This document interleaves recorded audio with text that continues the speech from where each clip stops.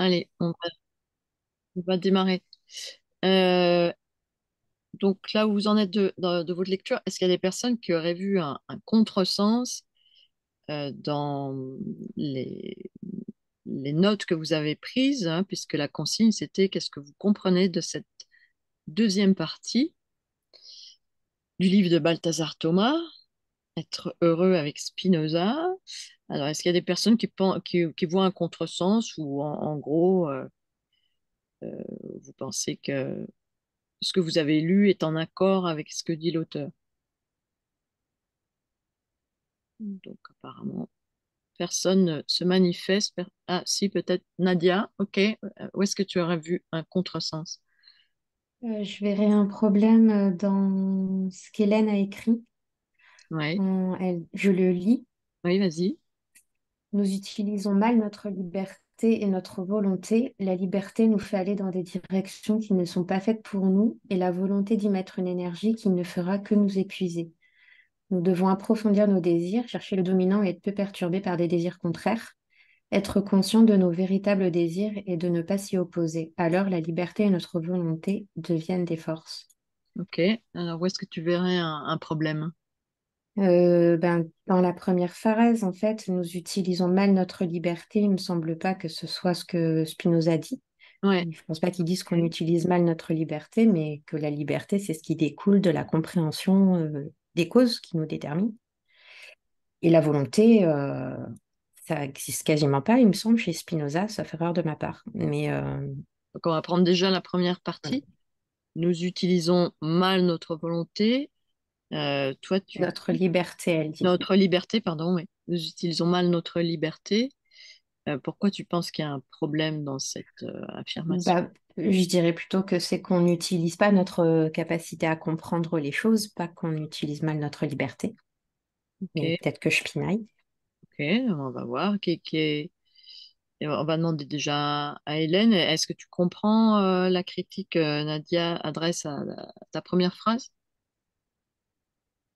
Euh, oui, oui, oui, tout à fait. En fait, euh, effectivement, dans le chapitre, euh, ça m'a paru effectivement un petit peu confus parce que euh, il y a vraiment des moments où il me paraissait dire que c'était vraiment un problème pour l'homme d'être libre et que et puis d'autres moments. Enfin, effectivement, oui, c'est peut-être un peu à clarifier. Oui, j'ai Alors, euh, juste, est-ce que tu as compris le, le problème que voit Nadia dans cette formulation? Oui, qu'elle elle, elle ne voit pas le- la, la négativité dans la liberté, en fait. Elle ne voit pas que euh, Spinoza disait que la liberté, alors que moi je mets que la liberté est, euh, fait du, fait du tort, quoi. Aux hommes, non. Alors, euh, Oui. Alors, toi, tu dis, nous utilisons mal no- voilà, nous utilisons liberté. mal notre liberté. Euh. Ok, il serait plus rigoureux de, de dire comment alors? Est-ce que tu as entendu la, proposition de Nadia ou t'as pas entendu? pardon? Ah zut, euh, ça bug. Euh, est-ce que tu, du coup, est-ce que tu as entendu la proposition de Nadia? Euh, oui, enfin, j'ai entendu euh, euh, qu'elle trouvait pas que la liberté. Ouais, mais alors elle, elle disait, c'est c'est pas notre liberté que nous utilisons mal, elle a, elle a proposé ouais. autre chose. Si, si t'as pas entendu, c'est pas grave, hein, dis juste, j'ai pas, j'ai pas compris ou j'ai pas entendu. Euh, oui, bah, je veux bien qu'elle répète, oui. Ouais, On peut, on peut voir si quelqu'un d'autre peut répéter. hein. Ça, ça fait travailler l'écoute de chacun. Est-ce que vous, vous avez, euh, les, les autres, euh, en- entendu le- ce qu'a ce qu'a proposé Nadia? Oui, Corinne? Donc, je crois qu'elle a dit qu'on utilisait mal notre compréhension. Ouais. Ok. Alors, attends, Jennifer écrit quelque chose en même temps. Qu'est-ce qu'elle écrit? Ah, ok. D'accord, Jennifer.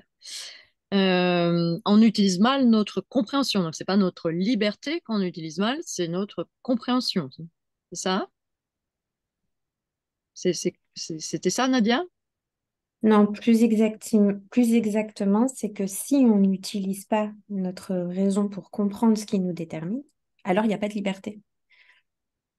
D'accord. Donc, mais le, le problème, ça serait de, du coup, de ne pas utiliser notre compréhension. Si, je l'utilise pas, bah, il n'y a pas de liberté. hein. c'est ça. D'accord. Donc, euh, qui est, qui est d'accord avec Nadia, c'est plus un problème de ne pas utiliser notre compréhension, mais c'est pas un problème de mal utiliser notre liberté. Qui est d'accord avec elle. Ouais. Ok. Et qui n'est pas d'accord avec Hmm. Nadia? Aline?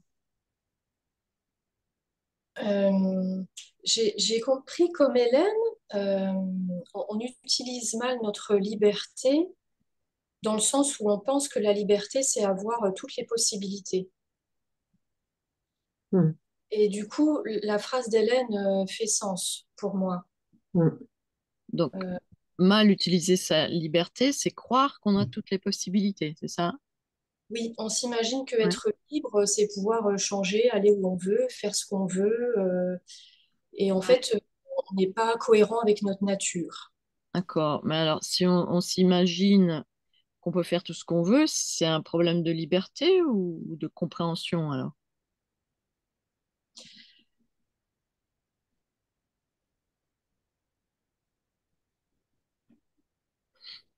Problème de, de compréhension et d'utilisation. On fait, on fait, un, on fait un, un mauvais usage de, de notre liberté. Oui, mais la cause de ce mauvais usage, ce serait quoi?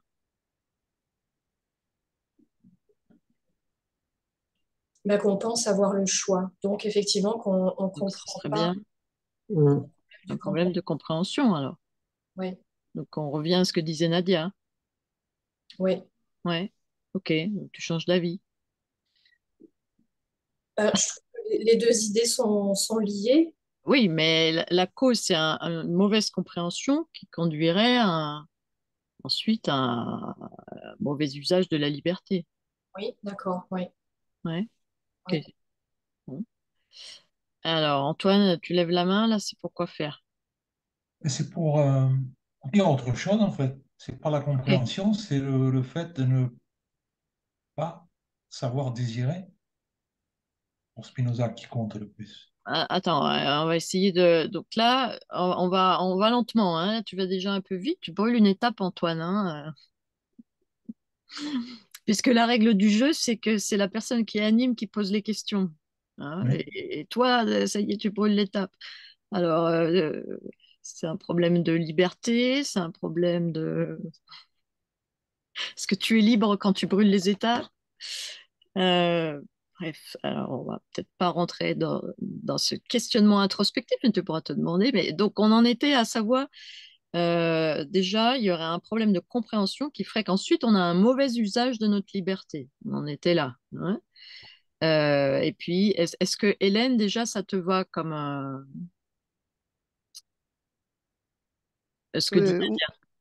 oui, oui, oui, tout à Ouais, fait. Mais à ce moment-là, je, moi, alors je, je- je dirais que la cause, en fait, ça serait la, une mauvaise compréhension. oui, Et, et les- la, la- la- la conséquence de cette mauvaise interprétation, ça serait qu'on ferait n'importe quoi de notre liberté, ce serait qu'on ferait n'importe quoi. Mm. ou qu'on l'utiliserait mal, enfin, d'accord. Oh, voilà. Ce seraient les Donc, conséquences, en fait. d'accord. hop, parce qu'on on ne comprend pas. Alors peut-être on peut creuser un petit peu euh, cette idée déjà. euh, est-ce qu'il y a des personnes qui, qui sont déjà pas d'accord avec ça, que c'est pas un problème de compréhension?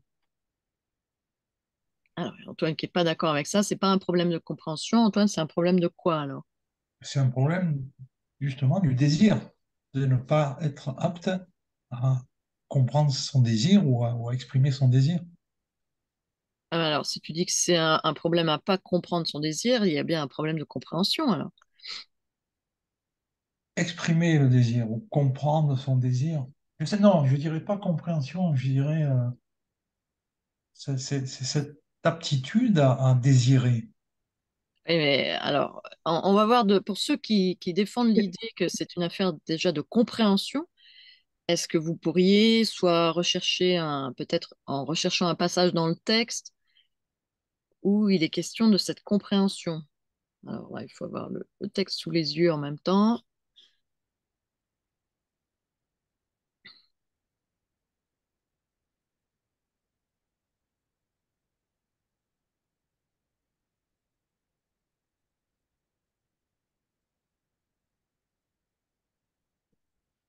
Et puis quand vous si vous voyez un passage, euh, faites un signe de la main.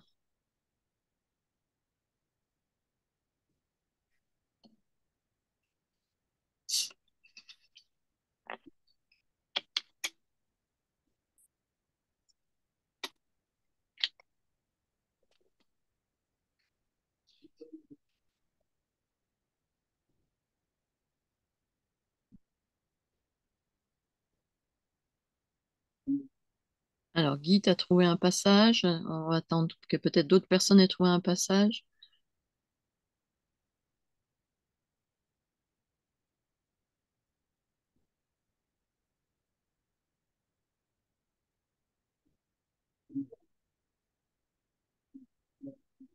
Ok, Antoine.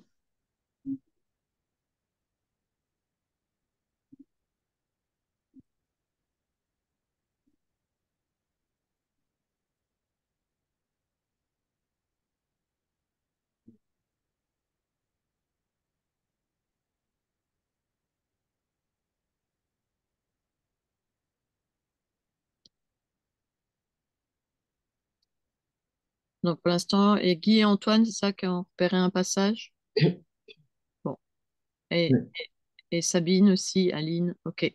Donc, vous êtes plusieurs à avoir trouvé un passage, on va voir si c'est le même ou pas. Vas-y, Guy, quel passage tu as trouvé qui montrerait que c'est d'abord un problème de compréhension? Ben, il y a un passage du lit. Euh, est-ce qu'on m'entend? Oui, oui, on t'entend, Ah, oui. pardon. Pardon. Euh, donc, c'est à la page 77, en bas de page. Cela signifie que notre décision, bien qu'involontaire, aura été guidée par une connaissance précise de ses enjeux. Ok. Hein? Euh, ça, ça va- donc, on a une connaissance des enjeux et ça va nous, nous conduire à, à décider. Oui. Et à la phrase suivante, si je peux Ouais. continuer, nous le voyons, se décider, ce n'est pas s'imposer un choix, mais simplement accumuler toutes les informations nécessaires afin que le choix puisse se faire de lui-même sans que nous ayons besoin de volonté. Ok. Ouais. Ça, ça va le, le passage que, que lit euh, Guy? Est-ce qu'il y a des personnes qui ont besoin de la référence? Si, s'ils sont, vous êtes sur des tablettes, non, ça va? Tout le monde a repéré le passage? Mhm. Et Est-ce qu'il y a quelqu'un qui est perdu, qui n'a pas trouvé le passage? Levez la main les personnes qui sont perdues. Alors, tu es sur une tablette, Hélène? Non? Tu es sur le, le bouquin? Mais Alors, c'est peut-être peut-être pas la même édition, parce qu'il y a plusieurs éditions. Euh, c'était page 57. page 77. 77. 77. euh, Ah, là, pardon. en 70. belge, c'est 77 et dire en France, c'est C'est ce que je trouvais 77. pas. 77, ah d'accord, ok. C'est bon, tu l'as? Oui, c'est bon, merci. Ok. Alors, euh, donc, il y a bien. Qui, voudrait reformuler cette idée dans ces mots-là, qu'elle s'ancre bien dans les têtes, euh, sans, relire, qui pourrait essayer de redire l'idée.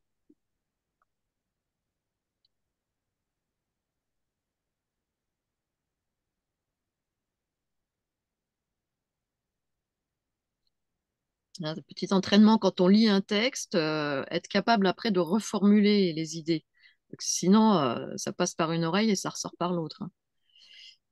Qui saurait euh, reformuler ce que, ce que Guy vient de lire, le- leur expliquer dans ses propres mots?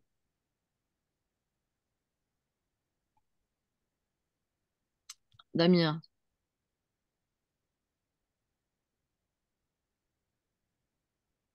Euh, la connaissance des enjeux, ce n'est pas s'imposer un choix, c'est le désir euh, qui se fait naturellement sans besoin de volonté. Donc le désir se ferait naturellement sans besoin de volonté. Déjà, si Damien dit ça, est-ce que ça va ou est-ce que quelqu'un voit un contresens? Apparemment, il n'y a pas de contresens. Le désir se fait naturellement sa- sans besoin de volonté. Alors maintenant, il manque peut-être quelque chose dans ce que dit Damien. Il manque le terme de compréhension, puisqu'on est parti de là. Alors, est-ce que quelqu'un voudrait ajouter que, que vient faire la compréhension dans cette histoire, puisque le désir vient naturellement, euh, sans besoin de volonté? Euh, où est la compréhension? C'est quoi le rapport avec la compréhension qui pourrait le reformuler?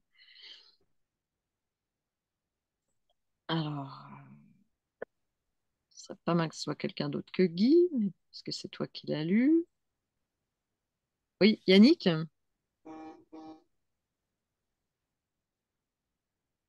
Euh, c'est euh, comprendre les enjeux des, des décisions. C'est ça la compréhension, c'est comprendre les tenants et les aboutissants et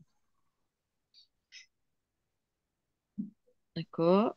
Donc, comprendre. Donc, je comprends les tenants et les aboutissants de, de ce qui se passe. de ce qui se passe. Et mon désir va s'orienter ici ou là, mais indépendamment de ma volonté. Indépendamment de ma volonté, parce que j'ai pris le temps de, de, de réfléchir à toutes les options. Et il y en a une qui va s'imposer indépendamment de ma volonté. Ok, ça, ça- ça va si on dit comme ça, euh, Guy? Ça, ça reformule à peu près euh, ce que tu as lu? Euh, oui, j'aurais ajouté un mot, c'est adéquation. C'est-à-dire être en adéquation avec son, avec le désir. Ouais, C'est ça, en fait, qui, qui fait que, voilà, la, volonté, c'est autre chose. Euh, et la compréhension vient du fait qu'on soit en adéquation avec son désir. d'accord. Donc, qu'est-ce que, que je comprends? Alors, on va essayer de préciser ça. La compréhension, c'est la compréhension de quoi? Parce que Damien nous dit, c'est c'est le désir va venir comme ça, indépendamment de la volonté, hein, puis on va choisir. Mais qu'est-ce qu'on a compris dans cette affaire? C'est la compréhension de quoi? Donc, qui, qui pourrait préciser qu'est-ce qu'on comprend et qui va nous conduire ensuite à agir peut-être de façon adéquate? Nadia?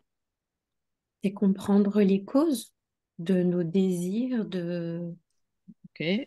Ça peut être, Je comprends les, les causes de mon désir.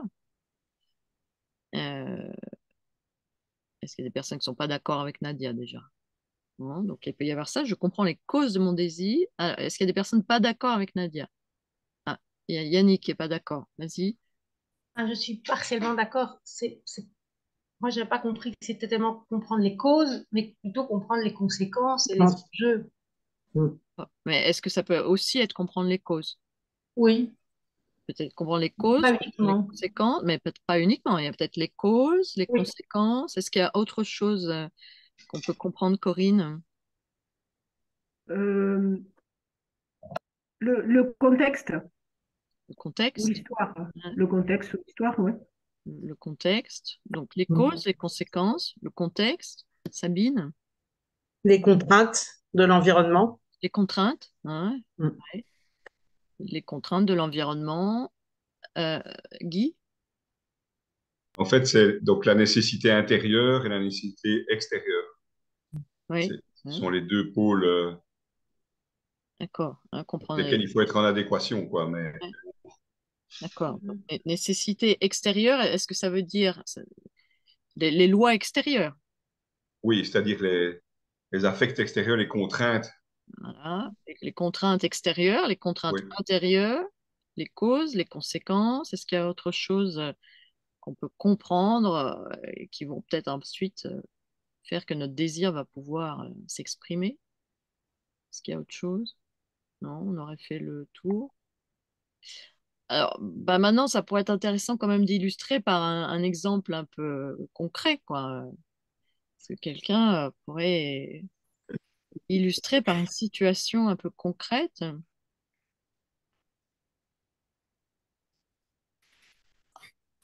Alors, Guy, aurait...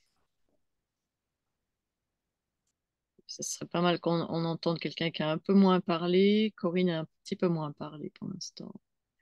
Vas-y, Corinne, est-ce que tu aurais une situation un peu concrète? Alors, euh, euh, par exemple, je, je, mon père est médecin. Euh, je vais faire médecine parce que je pense que c'est mon, je pense que c'est mon désir. Mais en fait, ce qui me pousse à faire ça, c'est plus du mimétisme ou une injonction. Euh, mais c'est pas mon désir profond. Voilà, j'ai peut-être pas cherché euh, à savoir si c'était mon désir ou si c'était euh, quelque chose de social, de pour faire plaisir, pour être comme les autres. Enfin, voilà. D'accord. Donc là, je comprends que finalement, il y a peut-être une cause qui n'est pas adéquate, justement. Oui. Hein? Donc là, c'est... Tu donnes un, un exemple qui me pousserait finalement à, à ne pas devenir médecin. Par exemple. Il va falloir que je cherche autre chose. hein. Donc là, c'est plutôt un exemple en négatif. Alors, il y a Jennifer qui revient. Est-ce que on peut imaginer un exemple en, en positif? Euh, peut-être un peu complexe, hein, ce que je vous propose de... Donc là, on a un exemple en négatif. Je me dis, ah ouais, en fait, c'est juste que j'étais influencée par ma famille, mais c'est pas mon désir profond, donc j'ai compris que cette cause, elle me convient pas, quoi. Est-ce que quelqu'un aurait un exemple en positif?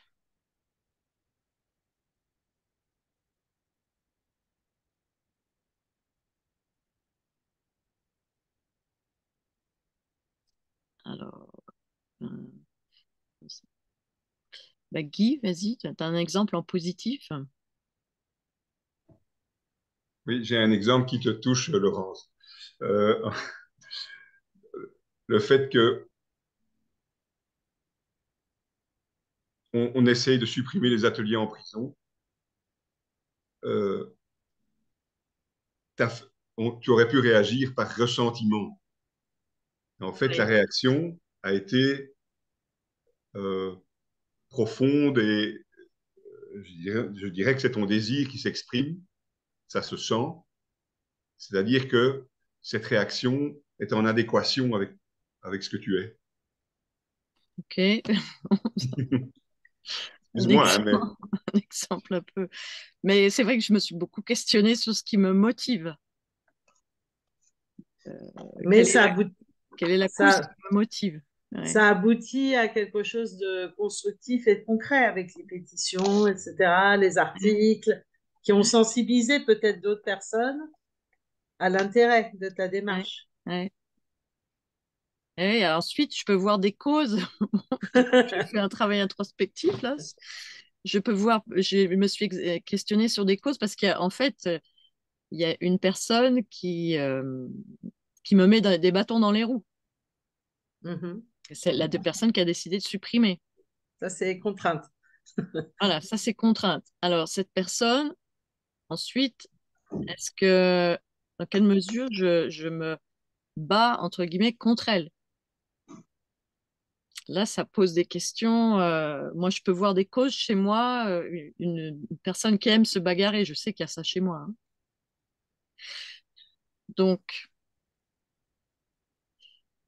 Donc, ça, c'est une cause. Euh, si je me bagarre parce que j'aime me bagarrer, est-ce que c'est une cause qui me qui me rendrait libre ou pas? A priori, non. Dit comme ça. Et non. Voilà, il faut, faut, que vous m'aidiez. Bah, du coup, c'est intéressant. Ça va m'aider à, à, à, mener ce combat. Hein. Parce que cette personne, j'ai bien vu qu'à un moment, euh, elle m'énervait et j'avais envie d'avoir le dessus sur elle. Je m'en suis rendu compte. Hein. Et puis après, je me suis dit non, c'est pas, c'est pas un bon motif. Après, tu as quand même vu ce que ça apportait aux détenus. Voilà, évidemment, il y, a, il y a ça. Il y a ce que ça apporte aux détenus et l'image que ça leur renvoie d'eux-mêmes aussi, qui sont pris au sérieux. Donc, il y a ça aussi dans les causes alors, il, y a, il y a moi aussi, il y a mon désir de gagner, il y a... Alors, je ne sais pas s'il y a des personnes qui sont déjà rentrées parmi vous dans des combats. Euh, quelles sont les causes qui peuvent nous pousser à, à mener un combat Est-ce qu'on est libre ou pas euh, Alors, je sais pas, Est-ce qu'il y a des personnes qui voudraient éclairer ce problème par rapport à ce qu'on a lu chez Spinoza? Oui, Nadia? Euh, tu as posé plusieurs questions, mais je crois que c'est la première que je vais répondre. Dis-moi si Ouais, c'est ouais. pas bon. Quand tu dirais, quand tu disais bagarrer parce que je viens me bagarrer, qu'il y a ça en- chez toi, Ouais, ouais, euh, et que tu te demandais du coup est-ce que ça, ça- est-ce que tu es libre à ce moment-là? ouais, Ben, je dirais, si, si j'ai bien compris ce que dit Spinoza, si c'est ta nature d'aimer te battre, peut-être que si tu, tu, tu le sais, que tu connais la cause de- du fait que tu aimes te battre, eh ben, tu peux te battre différemment. Donc, plutôt que faire un combat dans le vide, tu peux peut-être battre toujours en respectant sa- ta nature, parce que c'est ton ouais, déterminisme. ouais, respectes cette nature-là, mais tu vas le faire différemment, de façon plus éclairée, en fait. ouais, ouais, Et donc, au lieu d'écrire des posts pour insulter, tu fais signer des pétitions. ouais, Donc, tu vois. ouais, ouais. Effectivement. Ouais, euh, mais là, je, sais- je sais, je crois bien qu'il y a ça chez moi, la- l'amour du combat. Et ensuite, effectivement, ouais, d'accord, ça me parle. Comment je fais face à, à la contrainte qui se présente à moi? Mm. Mm. C'est pas un combat frontal, c'est un combat euh, latéral, quoi. Enfin, Ça, c'est pas pas, comment. Parce que le combat de personne, j'ai bien vu qu'il pouvait poindre. hein, Je l'ai senti à un moment. Mais c'est pas fini. Je vous dirai la suite parce que cette personne, je dois la rencontrer bientôt. Donc je- voilà comment le combat va être mené parce que cette personne, j'ai l'impression, ça c'est intéressant peut-être par rapport à l'exemple, j'ai l'impression qu'elle cherche à me combattre, qu'elle cherche à me, à me nuire. J'ai cette impression. Alors, que dirait Spinoza? Voilà, j'ai cette impression qu'elle veut me mettre des bâtons dans les roues, qu'elle cherche à me nuire. J'ai quelques éléments qui pourraient me l'indiquer. Comment Spinoza euh, analyserait une telle situation? Donc, euh, alors on peut prendre mon exemple, mais on pourrait le généraliser. Vous êtes en lutte contre une personne euh, parce que vous avez envie de, de faire émerger une cause qui vous semble juste. Cette personne, vous avez l'impression qu'elle cherche à vous nuire. Comment euh, Spinoza pourrait-il lire cette situation? Déjà, être sûr que l'impression euh, est un fait objectif et pas juste une impression, parce qu'il y avait un moment où on disait que voilà, il y a des fois on, on s'imagine des choses, ça Mhm. nous renforce dans certaines euh, Oui. idées qui sont fausses en fait, qui naissent de notre imagination. Oui, hein, donc première chose dans cette situation, est-ce que vous êtes d'accord ou pas avec Sabine? Vérifier que la personne, euh, est-ce que c'est une impression que j'ai qu'elle cherche à me nuire, ou bien je me fais mon film? Hein, Qu'est-ce que vous en pensez? Il y a des personnes qui ne seraient pas d'accord avec Sabine? Aline? Si, si tu poses la, la question frontalement à la personne, enfin, c'est difficile de se rendre compte si, euh, de, de confirmer ça. La personne, elle va pas te dire euh, oui, je veux te nuire. Donc, comment tu fais pour. euh, comment tu fais avec ça? Tu, tu, Effectivement. mais non, mais non, moi, j'ai pas de problème avec vous. Et, Ouais. et tu sens bien que si, elle a un problème avec toi. Et- Comment, comment vérifier qu'une personne cherche à nous nuire ou pas? On va pas lui demander. Donc, c'est ça la question que tu poses finalement. oui, comment, comment, comment être sûr? Ouais, Hein, dit, il Ouais. faut être sûr, mais comment être sûr? ouais, comment être sûr? hein? Corinne, tu as un élément? Euh, ben oui, justement, on fait appel euh, à la raison. C'est-à-dire qu'il y a des faits et il y a euh, des, des sensations. Et en fait, euh, si les faits euh, confirment les sensations, c'est certainement vrai. Mais si les faits le- ne le prouvent pas, tu- oh, peut-être tu t'es fait un film. Voilà. Donc, il faudrait observer des faits très concrets hein, que la personne peut chercher à me nuire. D'accord. Hein. Eh ben, de façon générale, hein, on va pas parler que de mon cas particulier, mais de façon générale, quels sont les faits qui me prouvent que la personne cherche à nuire? Autre chose, euh, Yannick? Oui, moi, je me disais que ça valait peut-être euh, la peine de poser la question à la personne, de savoir quelles sont les, les raisons de ses décisions et lui demander pourquoi euh, elle s'oppose à ces ateliers. Et en, en fonction de ses réponses, tu pourras comprendre si, euh, si elle cherche à te nuire ou si elle a d'autres raisons, mais laisser la personne s'exprimer, justement Oui, pour sortir de ce combat entre oui, deux personnes qui aiment un peu se bagarrer. oui, oui, oui, c'est ça. Quelle est l'occasion de s'exprimer d'abord et de dire euh, Alors, en l'occurrence, moi, je, je sais, elle s'est exprimée. hein, parce que, Ah, ok. voilà, personne dit que c'est pas, c'est pas l'essentiel, c'est pas, et, il faut plutôt des actions diplômantes. euh, voilà, ce à quoi moi je lui réponds que, bref, euh, pas rentrer dans le, dans le détail du, du débat, mais ouais. Alors, je, je comprends, hein, après tout, elle, elle peut soutenir ça, mais moi, je suis pas d'accord avec elle. Ok, bon, euh, voilà. Est-ce qu'on peut, donc, il y y a- dans ce genre de situation, il y a exprimer notre nature, il y a avoir conscience des hum, contraintes internes et externes. Donc, contraintes externes, bah, on voit bien, par exemple, là, en l'occurrence, on est, c'est pas la même vision. La personne pense qu'il faut d'abord des actions diplômantes.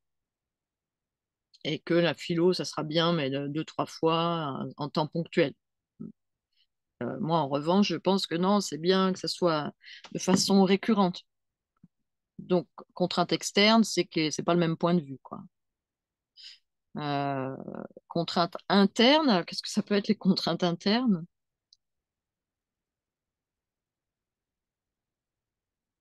Donc, ouais, on a dit, moi, être bien consciente de, des causes qui me poussent. Et qu'est-ce qu'il peut y avoir comme contrainte interne?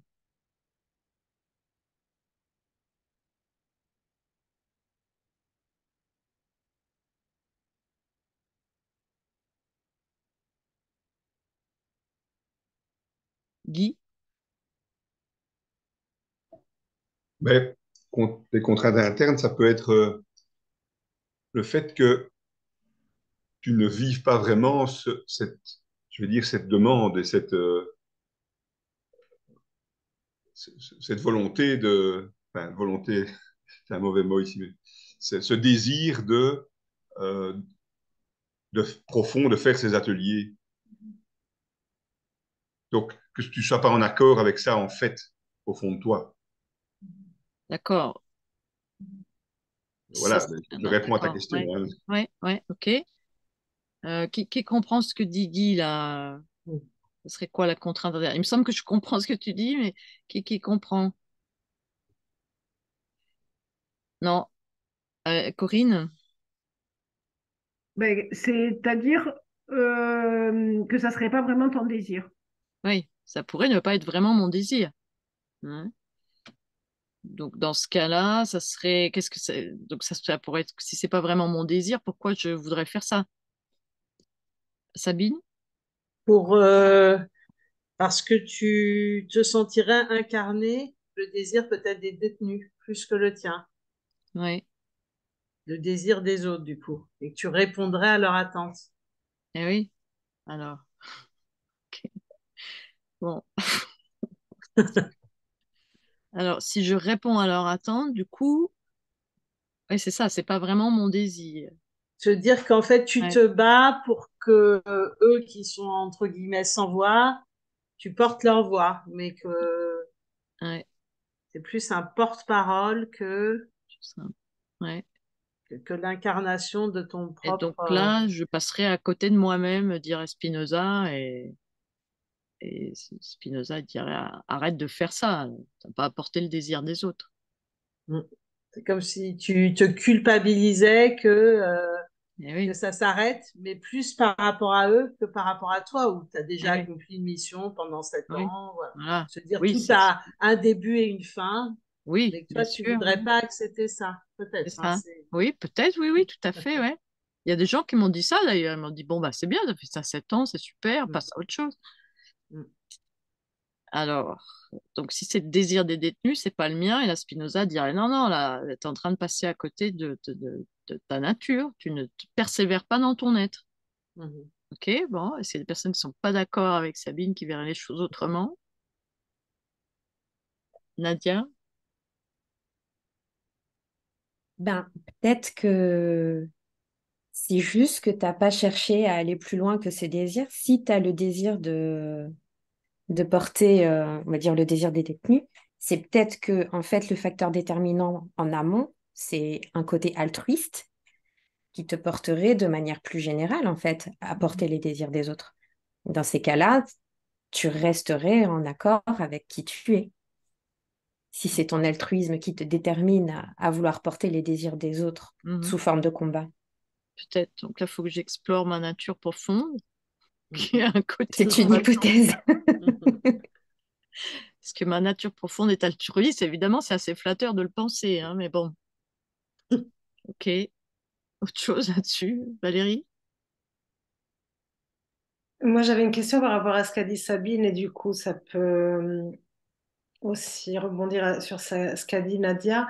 Est-ce qu'il n'y a pas un côté sauveur? Moi, j'entendais par rapport à ce que disait Sabine, il y a le mot oui, c'est un peu ça. C'est un peu ça. Oui, oui, oui. oui bah, du coup, comment savoir euh, si on est altruiste ou sauveur dans une situation pareille? Ça marche un peu ensemble, non? Mm. Mm. je sais qu'il y a un côté sauvé chez moi, ça j'ai déjà analysé beaucoup de fois, hein, Mm. avec les problèmes que ça peut poser. Alors, est-ce que quand on, on- on voit un côté de sa personnalité, euh, sauveur, euh, missionnaire, euh, toutes sortes de- d'attitudes qu'on peut avoir, est-ce que c'est... com- comment savoir si c'est no- c'est notre vraie nature Mm. ou euh, si ça ne l'est pas alors? Parce que je- on va pas parler que de mon cas particulier là, mais et qui se reconnaît aussi en sauveur, là, voir si je suis, s'il y a un club. D'accord. Ok. Donc, on a un club d'au moins quatre personnes, cinq personnes. Euh, quand on, voit comme ça un trait de caractère chez soi, qu'on a observé se manifester à plusieurs moments, euh, comment savoir si c'est notre vraie nature, euh, si on est spinoziste, ou si c'est juste une image comme ça, un peu volontariste, quoi?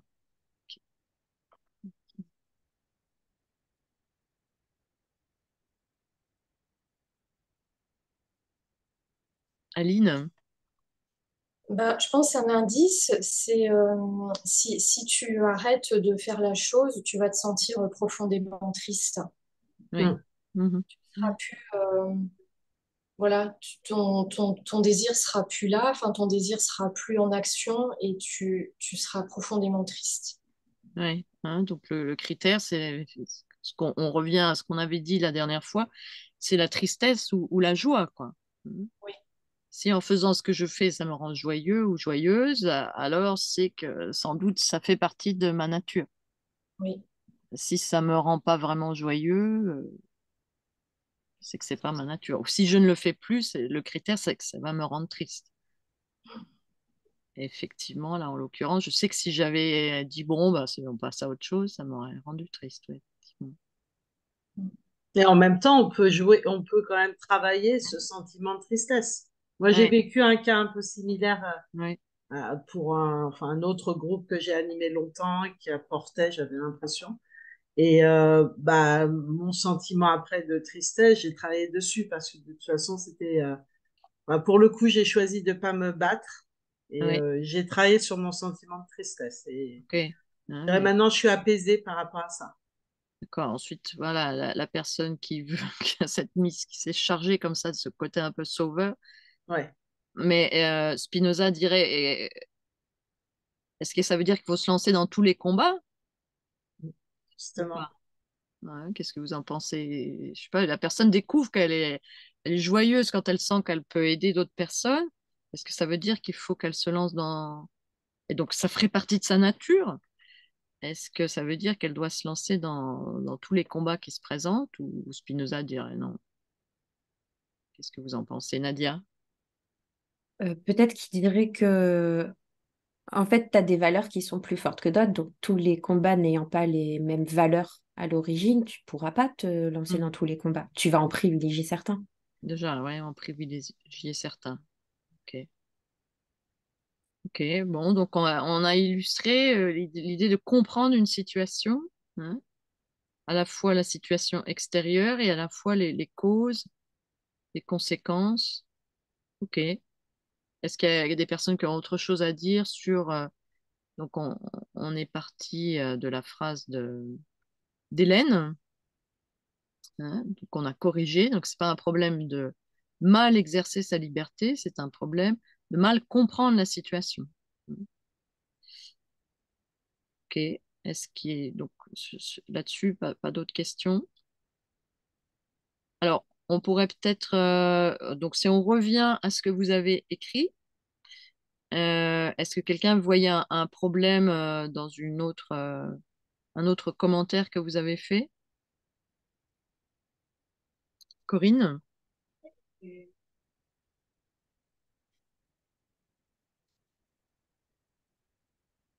Ah, on t'entend plus, Corinne. Dans le, voilà, dans le commentaire de Nadia, Ouais. euh, j'ai noté, mais j'ai plus, j'ai pas le commentaire sur les yeux, mais euh, j'ai noté que c'était pas seulement euh, sa raison, justement, puisque elle pose, euh, seulement, il faudrait que je relise, euh, j'ai marqué, je- ce n'est pas seulement sa raison, mais aussi le désir. Donc, il faut relire la phrase. Alors, il euh, faut relire ce qu'a écrit Nadia. Ouais. Donc, je. Ouais, vas-y. Tu, tu l'as sous les yeux ou pas? Ça y est, là, je l'ai attrapé. Donc, euh, Nadia, elle dit, la liberté n'est pas une capacité de faire ou de ne pas faire quelque chose, mais une nécessité décou- découlant de la nature même d'un être. L'homme est libre lorsqu'il agit selon sa propre nature, c'est-à-dire selon sa raison. Et c'est là où il me semble que Spinoza, il dit, l'homme est libre lorsqu'il agit selon sa nature, c'est-à-dire selon sa raison, mais pas simplement que sa raison.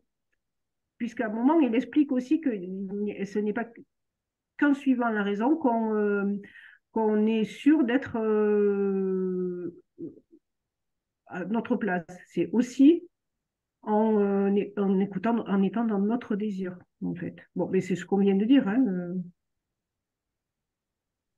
Alors, l'homme est libre lorsqu'il agit selon sa propre nature, c'est-à-dire selon sa raison, et non en réaction à des désirs ou des aversions extérieures. Alors, est-ce que... Justement, justement, moi je trouve que il- enfin, Spinoza, il me semble, il parle que c'est quand il agit selon son désir, en fait, qu'il est juste. Pas que simplement avec sa raison. Oui. Et donc là, tu, tu mettrais le désir et la raison. euh, Oui, sa raison, mais, mais en, en, en- en tenant compte de son désir profond, en fait. hein. Voilà. ouais. Alors, pour qui c'est clair ce que dit Corinne, le, problème qu'elle voit chez Nadia, pour qui c'est clair? Est-ce que quelqu'un pourrait juste reformuler le problème qu'elle voit alors? Valérie, tu pourrais faire ça?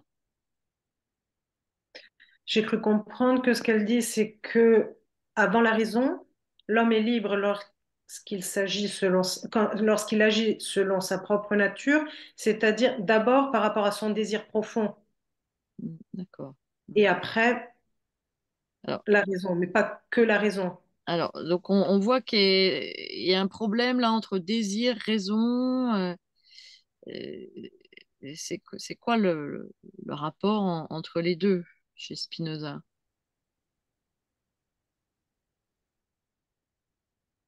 Nadia? Alors, il me semble que, euh, en fait, l'homme est par nature un être de désir. Donc, quand, il y a, je, quand je parle de sa nature profonde, c'est le désir, entre autres.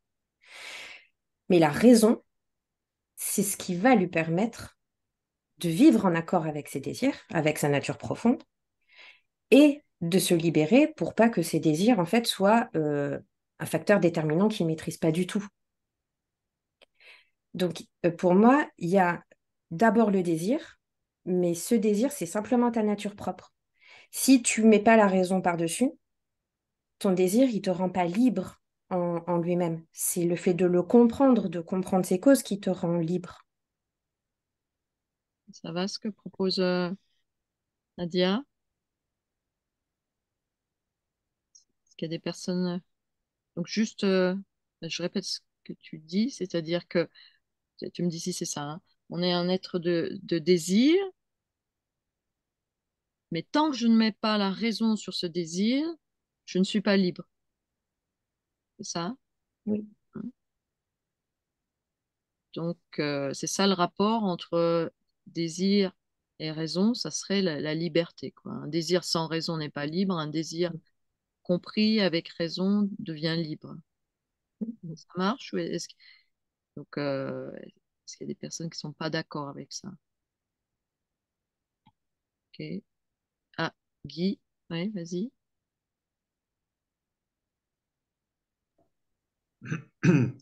Moi, je pense qu'il y, y a quelque chose qu'on oublie, c'est la nécessité. C'est-à-dire que la liberté, pour Spinoza, c'est comprendre la nécessité. C'est pas nécessairement, c'est pas comprendre son désir. Son désir, c'est juste un moteur, c'est une puissance. Mais ce qui fait la liberté de l'homme, selon Spinoza, qui est une libération, c'est la compréhension de la nécessité. D'accord. La nécessité d'accomplir ce désir. C'est ça? Oui, Euh, alors. Donc là, tu rajoutes le terme de nécessité. Hmm. Donc on avait désir, raison, liberté. On avait ces trois termes dans ce que disait Nadia. Et toi, tu rajoutes, euh, Guy, l'idée de nécessité. Alors, elle est où la nécessité euh, dans, dans ce que tu dis, euh, Guy? Tu peux préciser? Ben, c'est accepter, on va dire, le déterminisme. Accepter que chaque effet a une cause. Et ça, ça nous rend libres, selon Spinoza. Quoi? Alors, est-ce que mon désir profond, est-ce qu'il est de l'ordre de la nécessité? Ben oui, Oui. Hein, donc, alors, si je comprends mon désir profond, il est de l'ordre de la nécessité. Et si je le comprends, bah, justement, donc je suis libre. d'accord. On, on- on est bon là-dessus? Ouais. Ok. Alors, hein, maintenant, il faut, faut voir comment ça s'incarne hein, dans, si, si ça vous parle, cette philosophie dans la vie de chacun. hein. Alors, Yannick, je vois, tu levais la main, c'était pourquoi? Est-ce que dans ce que tu dis, mais alors est-ce que compréhension est équivalent à raison? Alors, c'est quoi le rapport entre la raison et la compréhension? Parce que moi, j'entends pas raison, j'entends. Parce que j'avais exactement la même remarque, enfin, je m'étais posé la même question que, que Corinne, exactement. Et c'était le mot raison qui m'embêtait. Et donc, je me demande si, parce que dans tout ce que vous dites pour expliquer, on peut plutôt mettre le mot compréhension plutôt que le mot raison. Donc, est-ce que raison égale compréhension?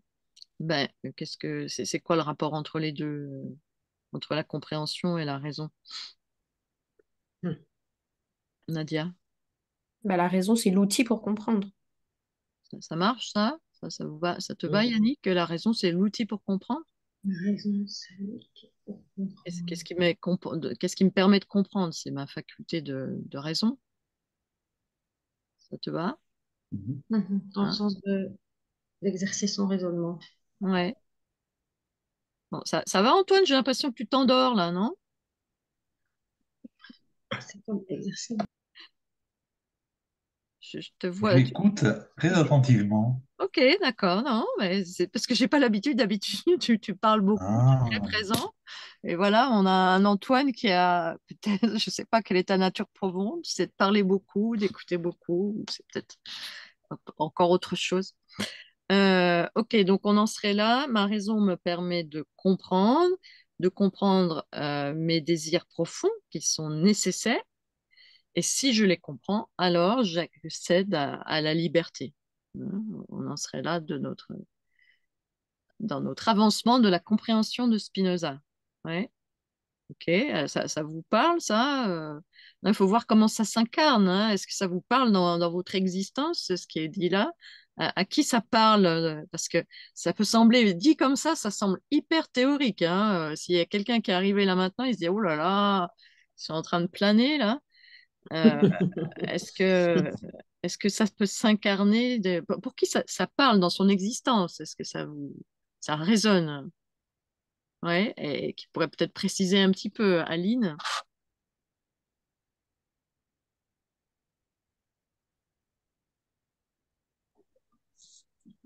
Euh, comment préciser? Ben oui, comprendre, comprendre euh, la nature d'un désir, comprendre d'où il vient, euh, pour pouvoir ensuite me dire, OK, je suis au bon endroit, je, je vais suivre ce désir. Bah, un exemple, la, la formation euh, philo pour enfants, par exemple. Mhm. Parce que, euh, ben voilà, j'ai pu être parasitée aussi par des pensées, bah, dans le fond, qu'est-ce que je veux, qu'est-ce que je veux vraiment, qu'est-ce que je cherche. et, et donc la question se pose, est-ce que c'est un, entre guillemets, un vrai désir? euh, qu'est-ce, qu'est-ce que j'en fais? Et ben voilà, pour moi, voilà, ça s'incarne dans ce genre de situation, De par exemple. situation, est-ce que je fais la formation euh, philo ou pas? Ok. Mhm. Donc ça peut s'incarner à ce moment-là. Alors qu'est-ce qui pourrait rendre difficile euh, justement la compréhension profonde de, de nos désirs? Qu'est-ce qui peut l'entraver?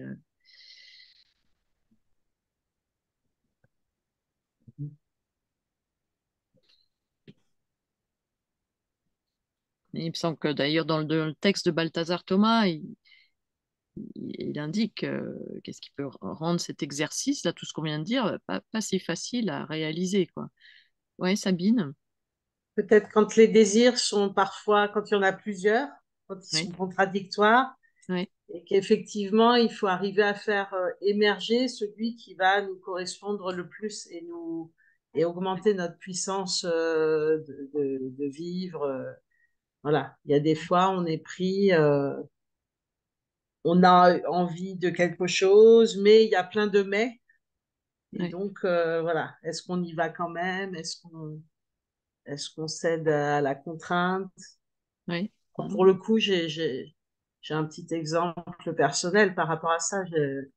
J'ai été pendant très longtemps dans un métier, j'ai fait un burn-out et après, la question était de savoir est-ce que je retourne dans ce métier? Bon, dans l'entreprise, assez vite, j'ai vu que non, mais dans le métier ou pas ailleurs, parce qu'après tout, euh, c'était un métier que je pouvais exercer un peu n'importe où. Et en fait, voilà, il y a eu plein de oui, mais non, mais oui, mais non, et puis pour finir par dire non, mais euh, après avoir analysé beaucoup de choses quand même. Ouais. de-. Savoir justement aussi si c'est la con- contingence qui fait qu'on veut aller vers ça ou si ça correspond à un désir qui va durer, qui va s'incarner euh, au plus profond ou pas? Parce qu'il y a des fois, ça peut être les circonstances aussi font que... Ok, alors si on, on résume ce que tu dis, ça, ça- ça serait la, la diversité de nos désirs et, qui sont parfois contradictoires et élevés à Mm. trier, quoi. Lequel est le plus important? Mm. Mm. Mm, mm. Effectivement, euh, ça c'est de- il y a un passage hein, où Balthazar Thomas développe cette idée. ouais. Autre chose qui peut rendre la- ce, rapport à notre désir compliqué, à part le fait qu'on en a plusieurs, c'est pas toujours facile de savoir lequel prime. Est-ce qu'il y a des personnes? Oui, Corinne? Alors après, ce qui peut nous aider, euh, Spinoza, il dit que c'est la joie en fait que procure euh, euh, l'émotion. Elle, elle- c'est un vrai thermomètre en- entre la joie ou la tristesse, va faire que on peut assez, euh, si on, on, on- on essaie de comprendre justement, euh, on va pouvoir, euh, grâce à ça, euh, savoir si on, si on est, on s'éloigne ou si on s'approche en fait. Si la joie euh, est profonde et qu'elle demeure, c'est bien que euh, on se trompe pas. Ok, hein, donc là c'est pour répondre à ce que disait euh, Sabine. Comment je fais le tri? Bah, euh, je vais voir ce qui m'apporte vraiment de la joie, quoi. Ouais.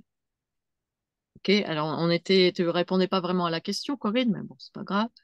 Euh, tu n'as pas obéi à la règle du jeu, tu vas pas être puni pour autant. Euh, donc euh, c'était savoir qu'est-ce qui rend difficile cette prise de conscience de notre désir et la libération. Qu'est-ce qui peut le rendre difficile? Est-ce qu'il y avait autre chose à part le fait qu'on a plusieurs désirs? Yannick?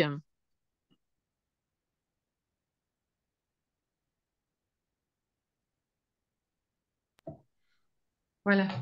Euh, en fait, en page 64, il dit la croyance dans notre libre arbitre, en fait.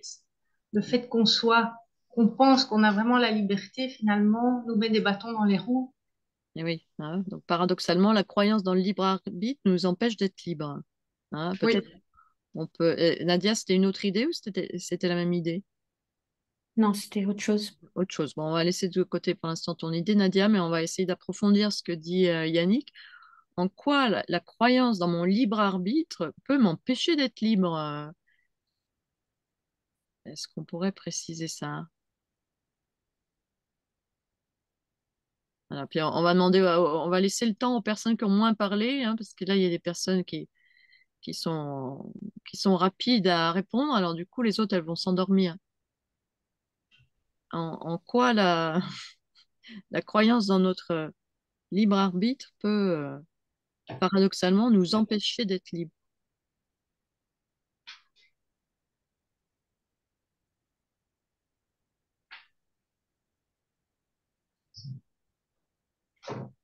Ouais, Jennifer? Un petit pamplemousse, un petit truc pamplemousse, moi. Euh, ça, ça peut euh, nous faire faire des choix trop rapidement, en fait. hein.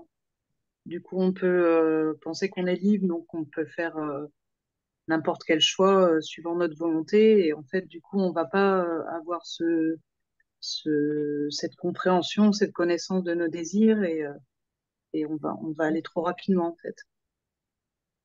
Ce qui fait que finalement, on n'est pas libre. hein. Eh oui. Ça va, l'idée que, que propose Jennifer? Parce qu'il y a des personnes qui ne sont pas d'accord avec Jennifer. Donc, il y a ce problème, si je crois que je suis libre, je vais trop vite. Et je me trompe. Hmm. Autre chose euh, qui, pourrait montrer que la croyance dans le libre arbitre, finalement, nous, empêche d'être libres. Un, un autre argument que celui de la précipitation.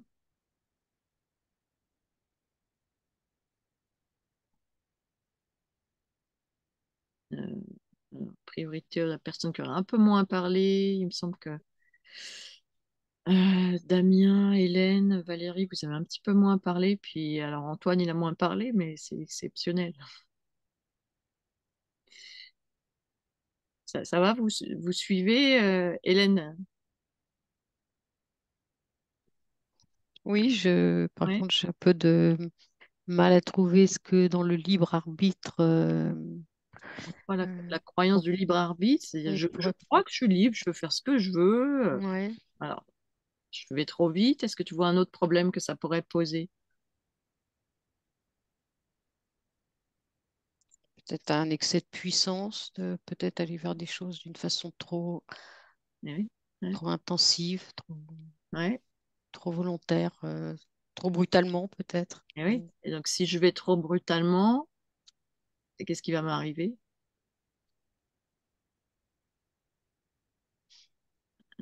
Et ben soit je vais,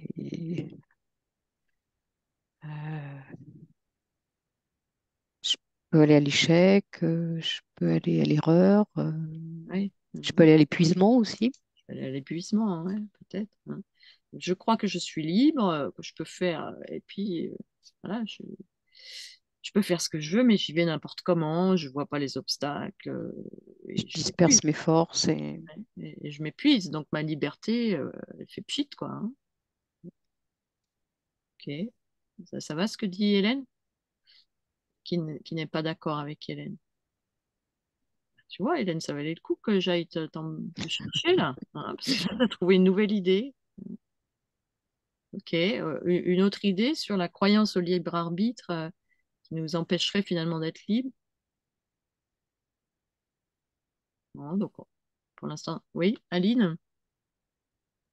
Ça, cette croyance-là, elle nous empêche, si j'ai bien compris ce que dit Spinoza, elle nous empêche d'être vraiment nous-mêmes. Elle nous coupe de, de nous-mêmes. On passe à côté de nous parce qu'on rêve à plein de choses et finalement, on n'est pas dans ce qu'on est vraiment. Mhm. Donc, on donc on se réalise pas, donc on n'est pas libre. Ouais, ok. Mhm. Ça va, donc to- troisième idée, en croyant au libre arbitre, euh, je ne me réalise pas, je passe à côté de moi. Hein, ça, ça nous fait trois idées, je me précipite. L'idée d'Hélène, c'est trop brutal, trop brusque et je m'épuise. Et puis Aline, je passe à côté de moi, je, je me, je me trompe, euh, je réalise pas vraiment mon désir. Quelqu'un aurait des exemples comme ça d'actions volontaristes euh, où on a l'illusion du libre arbitre qui nous fait euh, finalement passer à côté de notre liberté?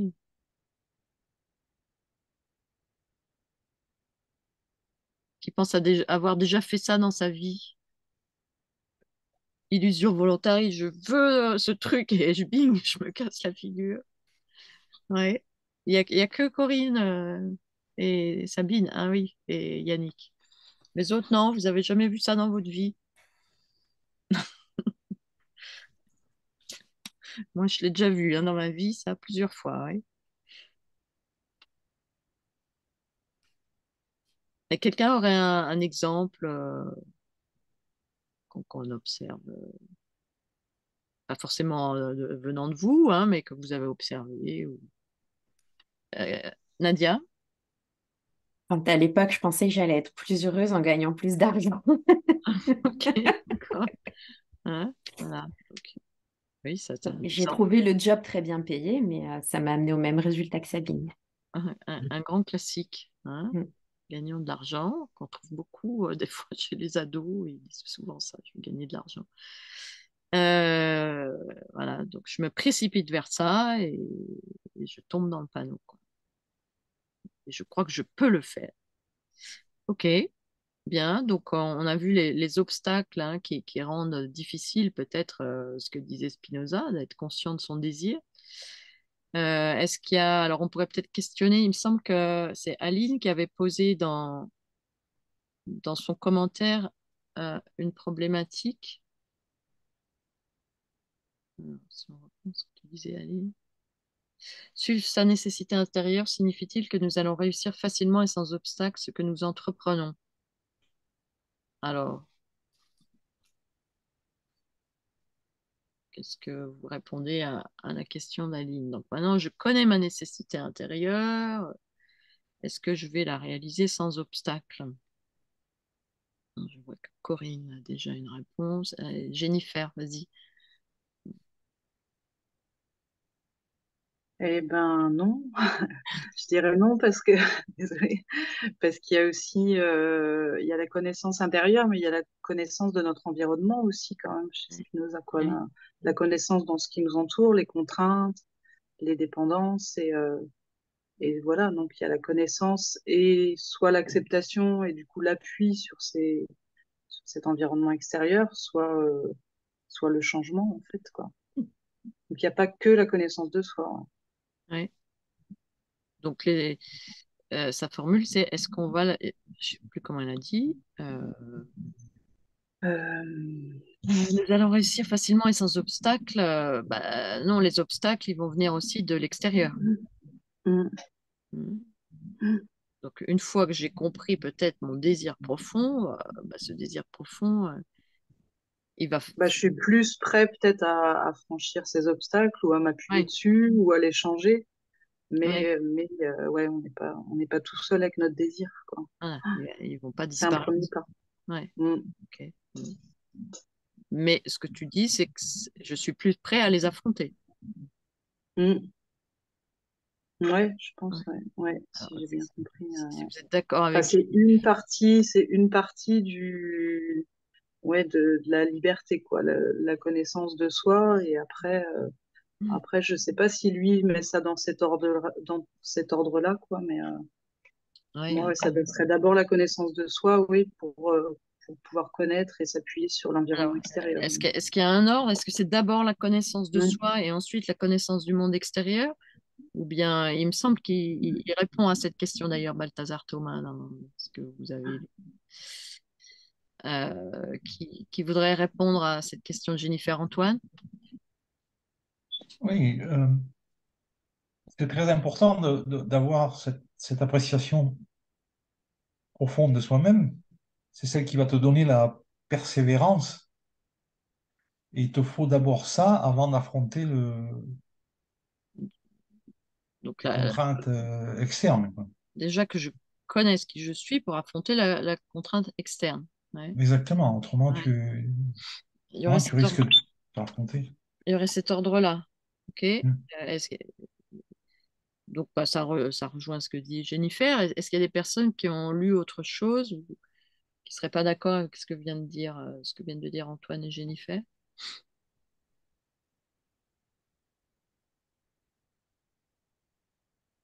Alors, ben, il, me semble, euh, donc là je questionne plus, mais il, il me semble qu'il dit à un moment, mais que pour savoir qui je suis vraiment, il faut que je me sois affrontée à la réalité.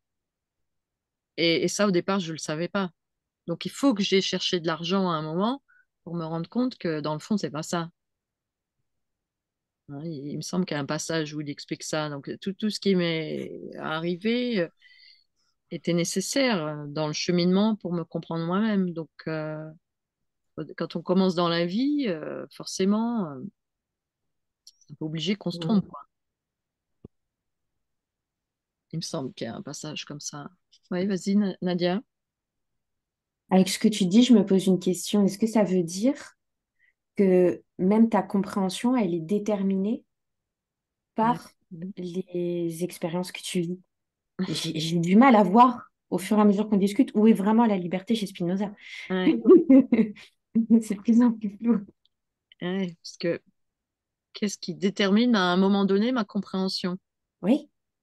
Est-ce que c'est un acte véritablement libre ou il y a toujours Eh quelque oui, chose qui la détermine et dans ces cas-là, euh, oui. Alors, ça s'arrête quand? qu'est-ce que qu'est-ce que vous en pensez euh, que pourrait répondre Spinoza? C'est un philosophe déterministe. Donc, qu'est-ce qui fait que tout d'un coup, je vais chercher à comprendre? euh, Est-ce que c'est déterminé ou est-ce que là, il y a une part de liberté?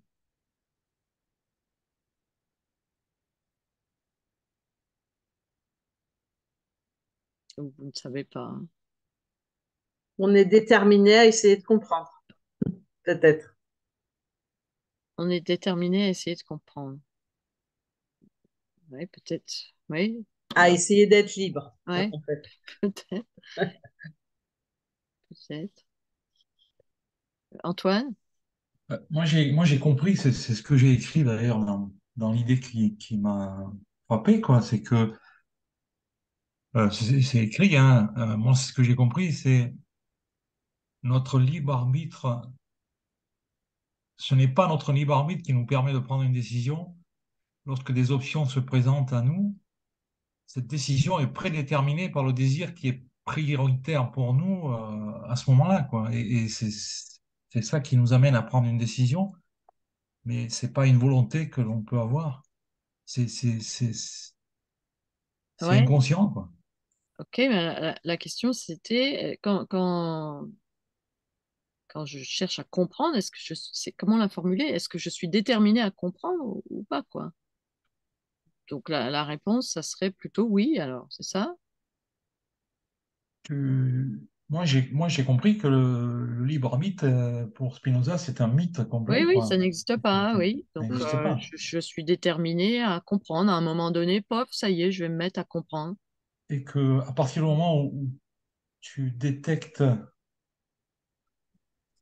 et que tu es en phase avec ton désir profond, ben, la décision, tu la prends, mais c'est pas par une, euh, par un choix vraiment, mais c'est quelque chose qui t'est, qui t'est apporté par Hmm, c'est pas par un choix le volontaire. désir que tu as Hmm. réussi à. Donc euh, ensuite, certains vont comprendre et d'autres vont jamais comprendre aussi. Alors ça. Certains semblent déterminés à comprendre et d'autres non. Enfin, ou d'autres moins.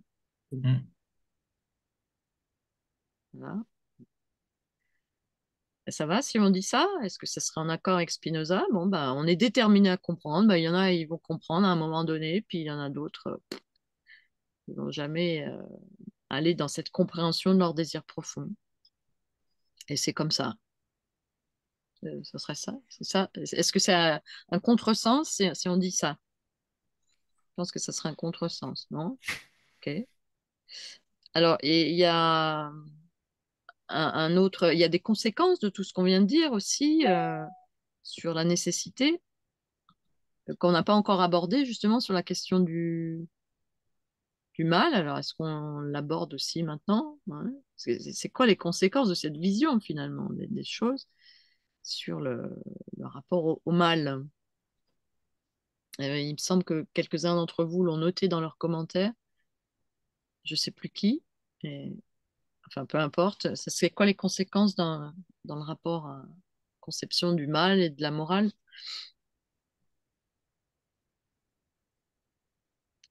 Alors, Guy?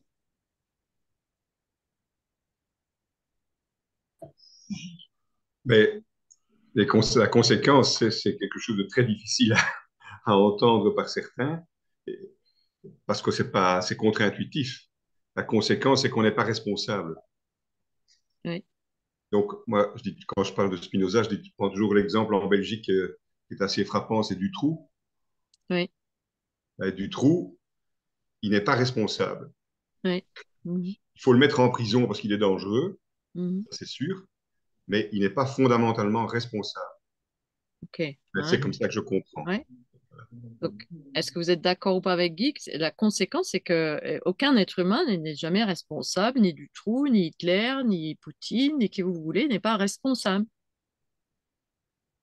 Hein, Parce que c'est comme si ça participait à une nécessité du monde plus générale, Voilà. Ouais, il y a une nécessité. Si, si- si l'autre fait ce qu'il fait, c'est qu'il ne peut pas Mm. faire autrement.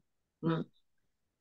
Donc, euh, alors, est-ce qu'on est bien en, accord avec Spinoza? Donc là, ça, semble un petit peu. euh, Est-ce que, que Spinoza soutient ça? Alors ensuite, voir si on est d'accord ou pas, mais est-ce que vous pensez qu'en effet, Spinoza soutient ce qu'on vient de dire ou pas, Nadia? Il me semble que ce qu'il dit, c'est que même si on peut expliquer les causes, ça ne nécessite pas nécessairement de les accepter parce qu'à ce moment-là, dans le cadre de la morale, ce qui prime avant le désir, c'est la valeur qu'on veut défendre. Mais peut-être que je me trompe. Mais il me semble. Euh, qui a compris Nadia là? Personne. Euh, bon. Euh, alors, Aline, Aline, t'as comprise? Vas-y, Aline, tu peux reformuler? Ben, Nadia dit que la, la valeur morale prime sur le désir. C'est ça? Oui. Alors, est-ce que. Si je suis mes désirs, mais que, je, mais que mes désirs m'obligent à tuer, à ce moment-là, je ne suis plus dans la valeur euh, morale. Oui. Je Alors, suis responsable. donc, je suis responsable ou pas? Alors, euh, donc, c'est- si on prenait les, les cas extrêmes de tout à l'heure, Je connais pas Spinoza, alors je peux pas dire. ouais. Alors, d'après ce qu'on a lu là dans Balthazar Thomas, est-ce qu'il y a une réponse à cette question? Est-ce qu'on on est responsable de- du mal euh, qu'on peut commettre? Donc, en tout cas, euh, Guy nous disait, non, on agit, on ne peut pas agir autrement qu'on agit.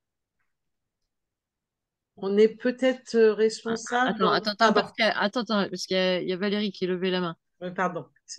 Vas-y, Valérie.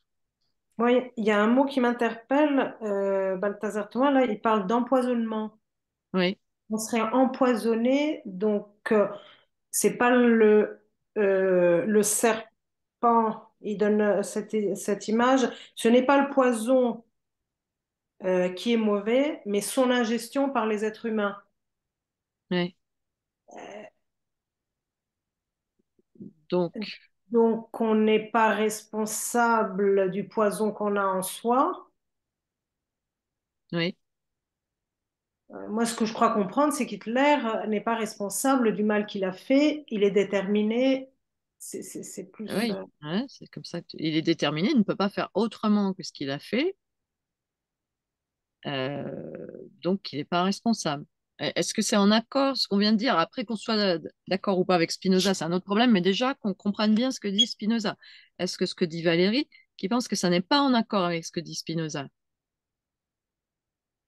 D'accord, il y a Sabine qui pense que ça n'est pas en accord. Vas-y, Sabine, pourquoi? Alors, pas tout à fait en accord, peut-être dans la mesure où quand même l'homme serait responsable de, bah, de comprendre ses affects. Et du coup, bon, si on reprend l'ex- les exemples extrêmes, là, je sais pas, Hitler euh, serait peut-être euh, aurait, aurait pu être responsable de pas comprendre pourquoi cette haine, euh, je sais pas, du juif, euh, Ouais. du non-arien, etc. Et qu'avec ça, il aurait pu faire quelque chose. Ah Comme mais il ne alors, l'a pas fait, ouais. Mais je, te je coupe quand même mais du, du coup, Ouais. en, c'est en contradiction avec ce qu'on disait tout à l'heure, parce que tout à l'heure, on disait que la compréhension elle-même, et on n'est pas libre de comprendre. Y a un moment on comprend, euh, et elle serait déterminée. Alors, parce que si on estime qu'on est libre de comprendre, alors, bah oui, on est responsable. Hitler serait responsable de ne pas avoir fait l'effort de comprendre. Mais ça serait, euh, ça serait contradictoire avec ce qu'on disait tout à l'heure. Ah, oui, Mm.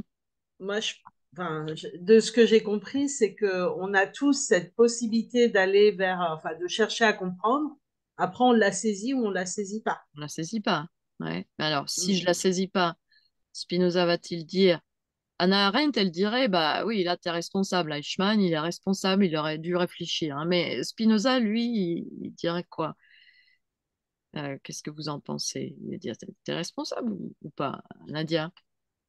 Alors, dans... Attends, mince, j'ai perdu la ligne. Flûte. Euh, dans le livre, à un moment donné, en fait, il dit qu'on ne peut pas agir autrement que ce qu'on est, parce que si on avait le choix, ça voudrait dire qu'on a, le choix de ne pas être ce qui on est, et ça, c'est pas possible. Ouais. Ouais. Et donc voilà. Donc, Donc, m- si, mais je vois pas le lien avec la responsabilité. J'arrive pas à trouver si quelque part c'est dit que ça nous enlève de la responsabilité ou pas.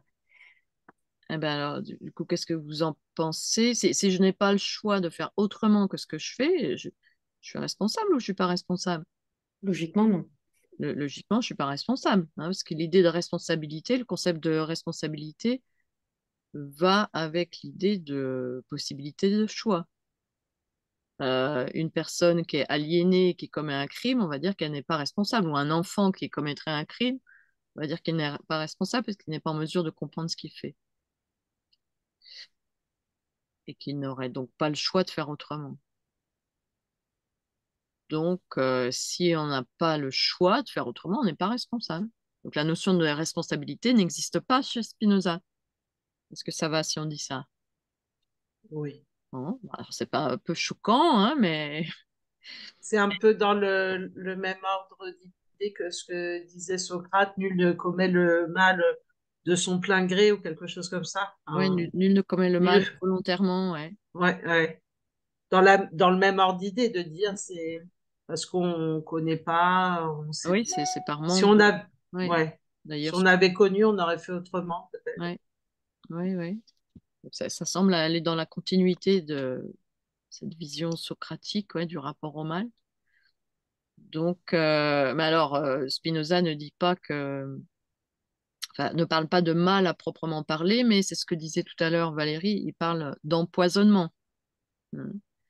Donc, euh, est-ce que quelqu'un saurait expliquer ce que ça signifie cet empoisonnement?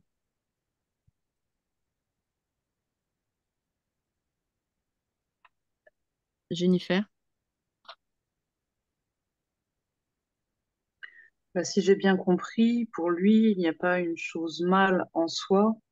Ce qui va faire que c'est mal, c'est l'interaction avec, euh, avec les autres, en fait.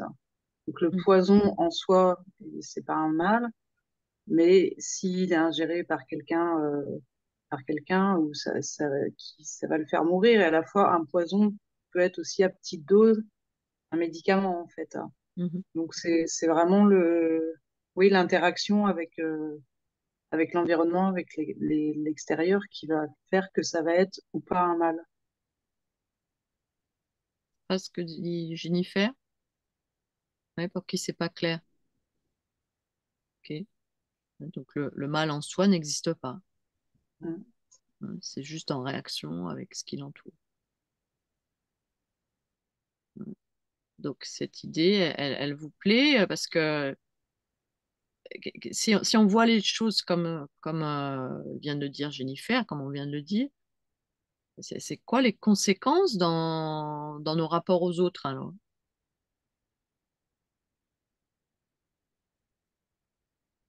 Corinne? Alors, je sais pas, je sais pas si je peux répondre à ce que tu poses parce que euh, j'ai l'impression que Spinoza, il dit pas que le mal, n'existe pas. Il dit que euh, si on l'ignore, il est encore plus dangereux. Oui, mais si, Donc, ça veut bien dire qu'il existe. mais t'as, t'as suivi ce qu'a dit Jennifer.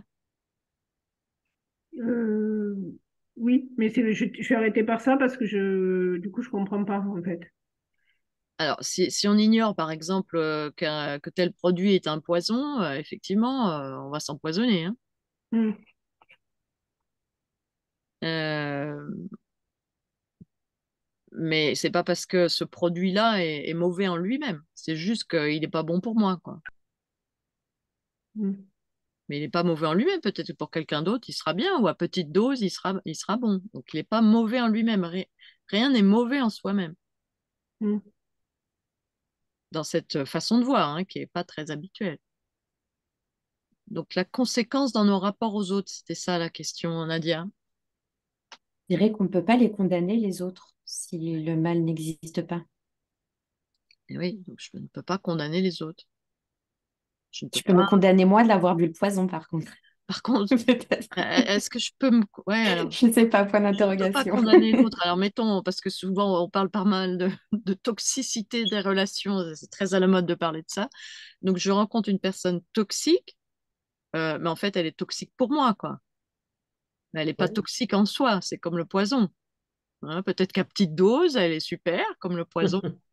Mais à grosse dose, il vaut mieux pas. Peut-être que pour d'autres, à grosse dose, elle est, elle est bénéfique, mais en tout cas, pour moi, euh, mais je ne peux pas lui en vouloir, de conséquence. Je ne peux pas dire, waouh, elle est méchante, je peux pas dire ça. Alors, conséquences dans le rapport aux autres. euh, Est-ce que vous voyez autre chose, euh, Antoine?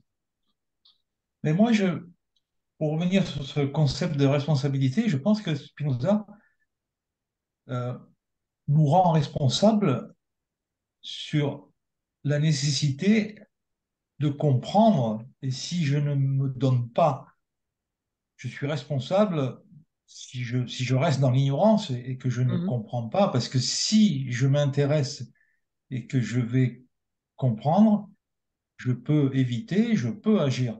Oui, Donc, donc pour moi, il y a une responsabilité qui est, qui est, qui est quand même là. Euh, Mm. nous sommes responsables de notre ignorance, quoi. Ouais, oui. ouais, c'est ce que je disais tout à l'heure. Mais alors, l'autre n'est pas responsable, mais moi, je le suis. Alors, ce serait ça? Parce que là, on- Ben, je pense que tout le monde, euh, tout le monde a une responsabilité de, de comprendre et de s'engager, de, de- d'aller. de- on ne peut pas rester euh, immobile sans se poser des questions, sans réfléchir, sans, sans comprendre. ah bah alors, on, on revient à l'idée de responsabilité. Donc, l'autre serait bien responsable, par exemple, d'être toxique. Ben, moi, je pense que oui. Je pense que le, le fait de... Alors, toi, toi, tu penses que oui, mais Oui. ensuite, euh, Spinoza, là, ce qu'on a dit, qui, qui pense que pour Spinoza, plutôt non, l'autre n'est pas responsable d'être toxique. Là, on est chez Spinoza, on n'est pas chez Antoine, hein, chez Spinoza. Hein, chez Spinoza, et qui pourrait rappeler pour, pourquoi chez Spinoza, non, on ne peut pas dire que l'autre est responsable. Juste reprendre l'argument, Nadia. Parce qu'on est tous déterminés par des causes. Oui. Alors, l'autre, il est déterminé par ses causes, voilà. Et, hein, donc, il y a des passages, Balthazar Thomas, mais il y a des passages de, dans les lettres à Schuller où ça, ça, il a, a beaucoup discuté de ça, Spinoza, parce que ça choquait évidemment plein de gens à l'époque. D'autant plus que lui-même, Spinoza, a quand même été victime de l'intolérance extrêmement violente. hein, quand le RM a été prononcé contre lui, c'est d'une violence incroyable. Mais c'est fou de lui, lui, il, il semble qu'il n'ait pas du tout été habité par le ressentiment. Enfin, donc les, les autres ne sont pas euh, responsables puisqu'ils ne peuvent pas faire, ne peuvent pas faire autrement que ce qu'ils font. Alors, en, en revanche, est-ce qu'on peut dire que, de, de- de mon point de vue à moi, est-ce que je suis responsable alors ou, ou pas chez Spinoza? Euh, Nadia? Il me semble, en fait, c'est, je regarde là le chapitre, au mauvais moment, au mauvais endroit.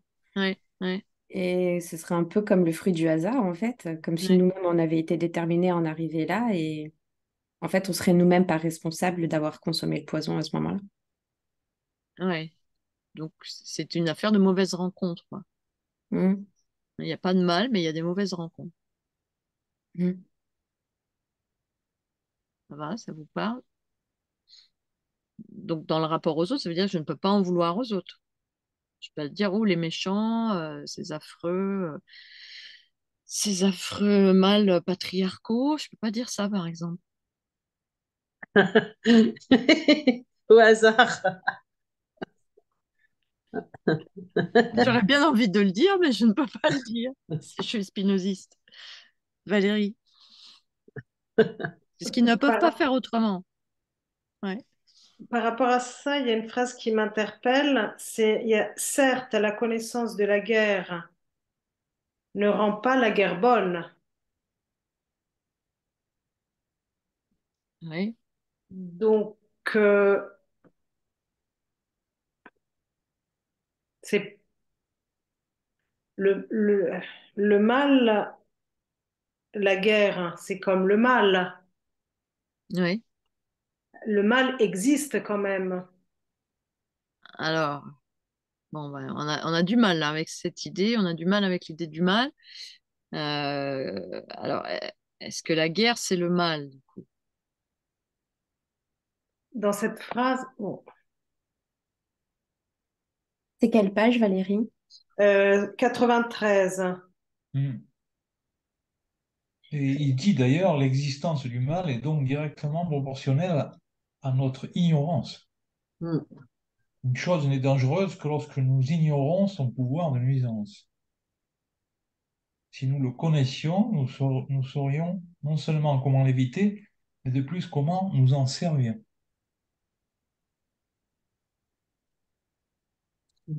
Donc, quelque part, il y a, il y un peu de responsabilité parce que l'ignorance, euh, Alors là, tu dis, je suis responsable de, de comprendre, en fait. ben, bien sûr.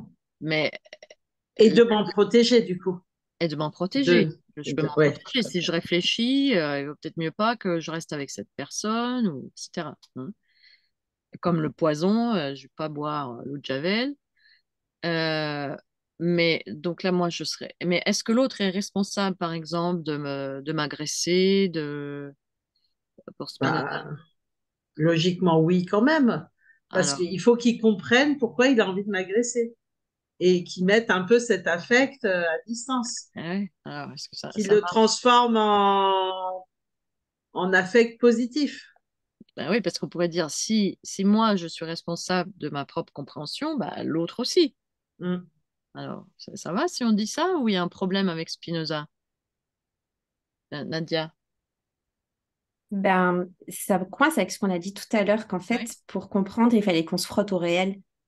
Oui. Et du coup, euh, ça voudrait dire que euh, l'agresseur, avant d'agresser, il faudrait qu'il sache euh, qu'il qu'il est un agresseur. Mais en fait, d'abord, il va agresser avant de pouvoir potentiellement, sous plein de conditions, j'imagine, comprendre qui il est. Et c'est pareil pour nous, en fait. On- le- la responsabilité de se préserver de la personne qui nous ferait du mal, ben, en fait, elle ne peut émerger qu'à partir du moment où on s'est déjà frotté au mal. Donc, quand on s'y est frotté, ça ne veut pas forcément dire qu'on est responsable à ce moment-là.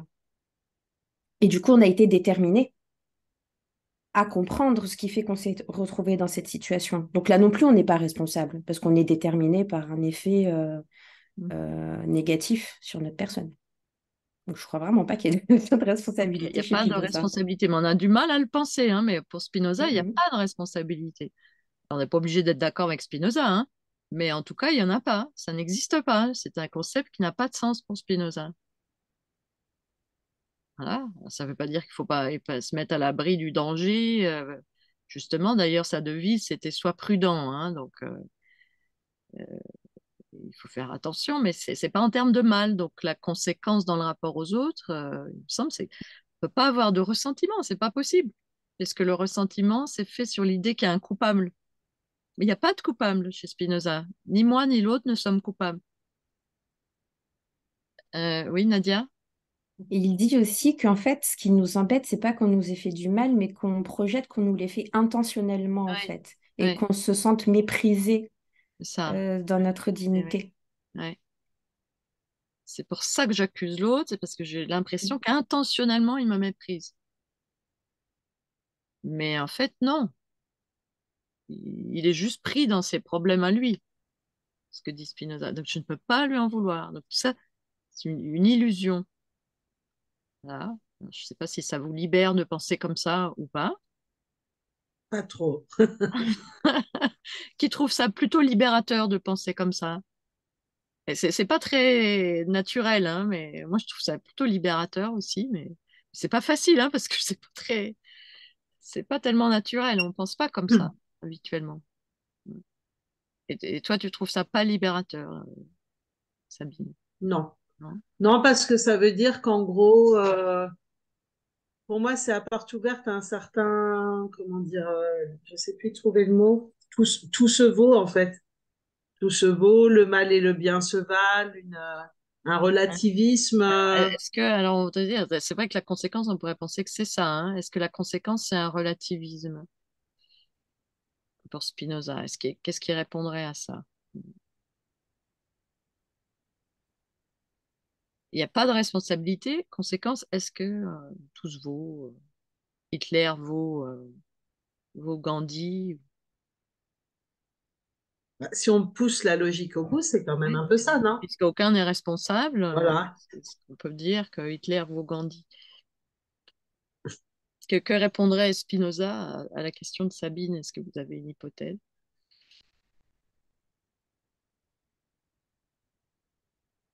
Jennifer? Bah, je, euh, je sais pas si je réponds à ta question. J'ai pas une hypothèse sur ce qu'il répondrait, mais pour lui, il y a quand même bien une différence entre le bien et le mal, quoi. Pour lui, c'est pas, c'est pas la même chose. il, euh, il y a une citation de, je peux la lire peut-être, euh, bah, des définitions euh, dans l'éthique, la définition euh, du bien et du mal par euh, Spinoza en fait. Donc s'il définit les deux, c'est que c'est qu'il Ouais. fait une distinction. C'est qu'il fait quand même une distinction. ouais. Donc, euh, Hitler produit beaucoup d'empoisonnement et, et- et Gandhi, euh, en moins. Ouais.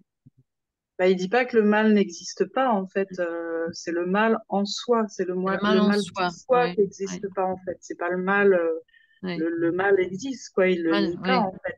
C'est juste que pour lui, c'est pas quelque chose en soi, c'est une, c'est quelque chose qui interagit avec autre chose et qui fait que ça devient blessant pour quelqu'un ou enfin ouais. voilà. Il y a des choses euh, dont la rencontre est néfaste pour beaucoup de, pour beaucoup de personnes, mais elles ne sont pas forcément néfastes en elles-mêmes.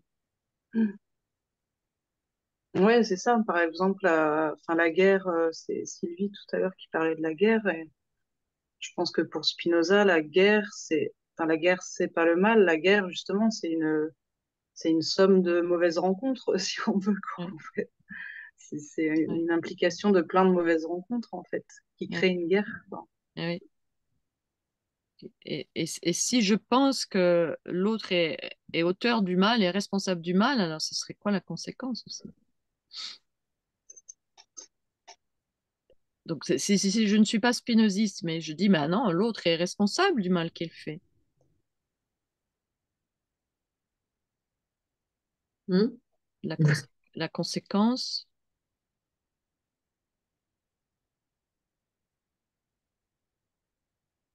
il me semble que là, c'est justement là que je vais me mettre à l'accuser et que là, je réponds à la question. Mais... Bah, ça, ça, ça remet en, ça remet au centre la question de la liberté. On a le choix de ne pas faire il euh, aurait le pu ne pas faire ce qu'il a fait, mais il l'a Voilà. fait, donc il est méchant. Mais si je dis ça, qu'est-ce qui va se passer? Nadia? Je peux enfin condamner. Ben, je peux le condamner, voilà.